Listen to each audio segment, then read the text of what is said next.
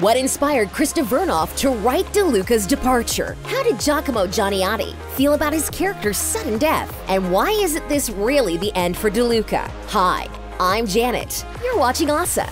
Someone get the paddles, because my heart just stopped. Can we press pause on this season? After what felt like the longest three month mid season hiatus in television history, Grey's Anatomy has finally returned. And it seems that the writers spent the entire time figuring out how to cause us the most emotional distress because the Grim Reaper has struck again. Ladies and gentlemen, Andrew DeLuca is dead. Giacomo Gianniotti's six season tenure on Grey's Anatomy started pretty much right after he finished studying, although he'd known he wanted to become an actor since he was 10 when he was cast as a street kid in an Italian film called La Bomba. After auditioning for a Grey's episode in 2014, when he was just 24 years old, Giacomo decided that in order for his career to really take off, he needed to be in LA. Surprisingly, just a few hours into his move from Toronto to California, his manager called with some amazing news. He was shortlisted to appear on Grey's, along with only one other actor, and Shonda Rhimes wanted to meet him. And obviously, he impressed the Grey's creator. Not only did he land the role of Andrew DeLuca, but within eight months,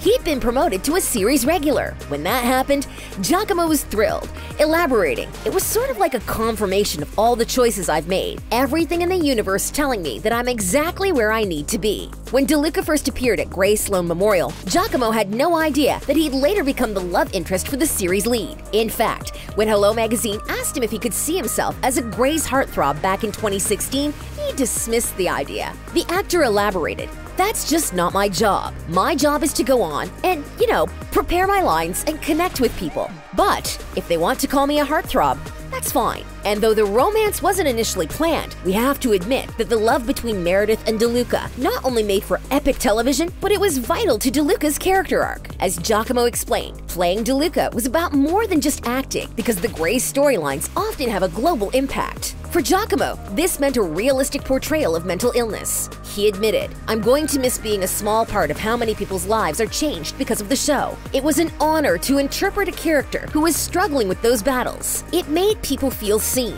and that meant the world to me. So, when it came time to write DeLuca's exit from the show, the showrunners had a lot of pressure. Not only did the departure need to be emotional, but it had to work within the context of DeLuca's struggles in a positive light. And that's no easy feat. Good exits write themselves. With everything that's happened over the last season of Grey's Anatomy, you could be forgiven for thinking the writers are actually magicians. I mean, they're bringing people back from the dead after all. Hello, McDreamy on a beach. But they really pulled out all the stops for DeLuca's farewell. During an epic crossover with Station 19, we're taken on an emotional roller coaster as Andrew gets stabbed trying to track down child traffickers. After several tense moments, DeLuca emerges from surgery, and just as we're about to give a collective sigh of relief, the unthinkable happened. He died! And we were not ready. But unlike us, Giacomo was actually well prepared for his character's send off. In fact, he knew pretty early in the season what fate awaited him and had to keep it under wraps until the table read, explaining that it felt like he had a dirty secret. And even then, he admitted that his colleagues were shocked, explaining, at that time in the script, to protect the integrity of the storyline, it didn't say whether he died or not. So everyone was on the edge of their seats, wanting the answer. And we know you want some answers too. So allow us to help.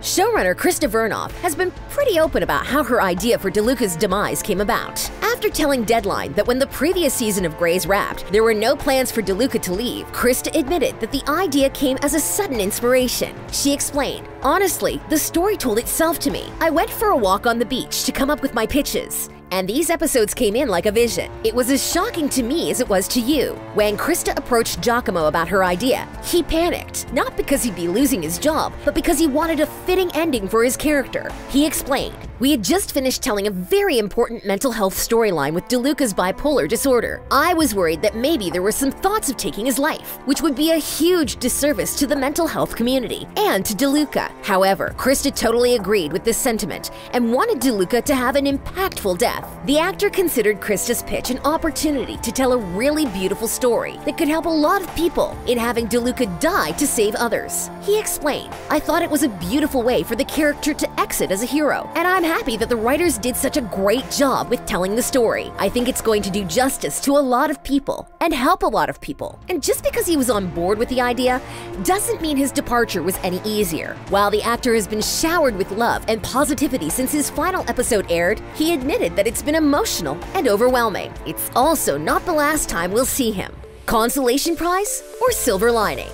Giacomo may have filmed his last Grey's scene covered in fake blood on an OR table, but he's not done with the show. In fact, he returned to the set for his directorial debut. The actor has always been keen to try his hand at directing, and thanks to Grey's, he got the chance. And fans are wondering if the directorial spot was a consolation prize to soften the blow of losing his job. Giacomo has set the record straight. After telling executive producer Debbie Allen that he wanted to try directing an episode four years ago, Giacomo was offered the chance last year. He explained, All of this wasn't planned this way. I was offered this job to direct last year, long before we knew I was leaving the show. And so, my last moments on set as an actor, there wasn't this big weeping sadness because every person on set knew I was sure to be returning to direct. Apart from giving him a chance to say proper goodbyes, Giacomo's hoping that this stint in the director's chair is the first of many, as it's a direction in which he's always wanted to take his career. The actor actually admitted that directing was wonderful, explaining, I had front row seats to the best film school you could ever go to. Nevertheless, he's a little sad not to be playing DeLuca anymore. In an Instagram post after his final scene as DeLuca, Giacomo expressed his love for DeLuca and the show, adding, telling his story was and will be one of the great honors of my life. Even Ellen Pompeo took to social media to spread the love in a sweet Instagram post, which included a promise for future wine and pasta dates. Where to from here? After DeLuca's appearance at the beach and disappearance from our lives, Krista Vernoff confirmed that DeLuca will not return to the beach this season. However, she also added that we haven't seen the last of him. She elaborated, I thought him walking away with his mom was the most powerful closure for that character, but you will see him again, just not on the beach. And that's not the only bombshell she dropped. The showrunner admitted that the season, which will have 17 episodes, will feature another surprise. After confirming that we'll see more characters appear on the beach later this season, including someone we haven't seen yet this season, she refused to give away any more details. She concluded, that beach is a ray of light, and the surprises of who you see are the rays of light. And I don't want to take that away. But what does it all mean for DeLuca? How will we see him again? Thankfully, we have an answer for that too. Well, kind of. As Krista tweeted, we'll see him again as an actor and a director. Giacomo was equally cryptic about his character's possible reappearance. The only question now is, when?